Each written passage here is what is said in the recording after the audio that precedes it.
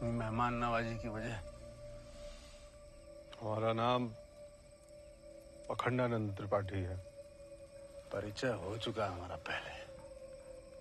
जिस अखंडा से आप परिचित हैं वो व्यापारी थे। और हम बाहुबली हैं।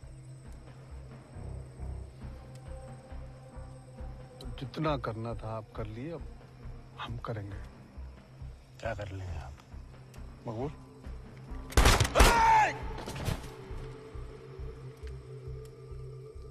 आपके बाकी साथियों को भी मुक्ति दे दी है।